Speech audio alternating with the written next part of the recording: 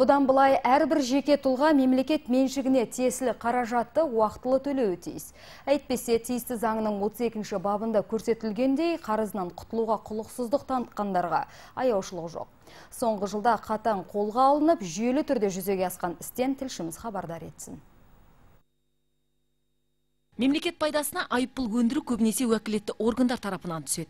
Облысымыздағы жеке сот орындаушылар осы жылдың 6 айында 38693 атқару ісін қараған. Статистикаға сүйенсек, айыппұл төлеу айыбына көбінесе көлік тізгіндеген жүргізушілер келігетін көрінеді. статистика мәліметке сай жол полиция органдарына келіп жатқан айыппұлдар көп атап айтатын болсақ мына бізде процессинг орталық бар сол жақта сол мекеме тарапынан көптеп сонымен қатар мына жол патрульдік полиция қызметкерлері тарапынан сол құқық бұзушыларға қатысты түзілген хаттамалар негізінде де келіп жатқан қаулар бар. Уақытылы төленбеген теңгенің өсім ақысы орасан.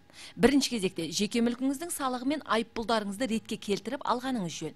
Мамандардың айтуынша заң үш күннің ішінде күшіне енеді үлгерген үлкен істі тындырады ал қарыздан құтылмағанның ісі насырға шабатыны анық. Атқару құжаты орындауға келіп түскеннен кейін сот орындаушы борышкердің бірінші кезекте.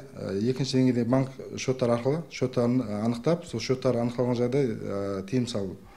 Сонымен қатар басқа да жылжымалы жылжымайтын мүліктері бар жағы жайлы мәліметтер сұратылады. Сол мүліктер бар болған жағдайда тыйым салынады. Өйткені осындай шаралардың нәтижесінде ғана осы көптеген мысалы мемлекет пайдасын түспей жатқан айыппұлдар сол өндіріліп жатыр қазіргі таңда. Еліміздің әрбір азаматы бұл іске салғырт қарамауы тиіс. Өйткені таяқтың екі ұшы да өзіне барып тиері анық. Ұлмира нұрмахан абай құралбаев олжас байтуов